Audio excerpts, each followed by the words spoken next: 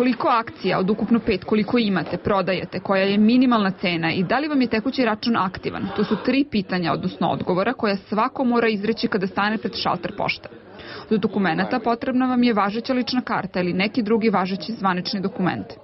Ukoliko je došlo do promene nekih ličnih podataka, to ćete regulisati na samom šalteru poštanske štedionice. Indikativna cena na otvaranju biće 505 dinara. Nijukom slučaju ne znači da će biti samo jedna cena. U trgovanju se pojavljuju najrazličitije cene i to sve zavisi od naloga ponude i tražnje. Cena na zatvaranju prvog dana je cena na otvaranju narednog dana. Znači, to je indikativna cena narednog dana, s tim što je fluktuacija kod narednog trgovanja plus 10 do minus 8. Znači, sve cene mogu da se ispostavljaju u tom rasponu.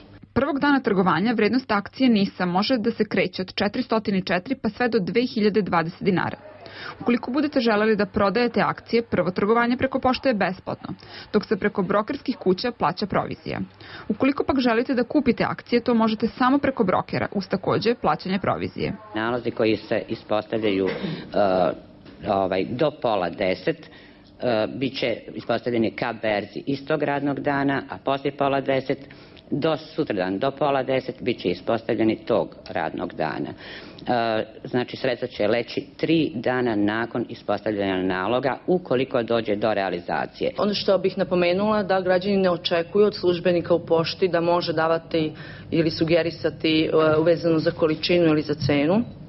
To je znači zabranjeno, tako da bi trebalo da se građani pre toga edukuje znači, u toj oblasti koji bi, e, koju bi cenu izabrao i koju bi količinu prodao. Da li su vaše akcije prodate, možete proveriti pozivom na besplatni broj 0800 100 300. Slanjem SMS poruke na broj telefona 2377 elektronski unošenjem jedinstvenog broja naloga i matičnog broja na sajtu poštanske štedionice ili ličnim odlaskom u poštu u kojoj je nalog izdat.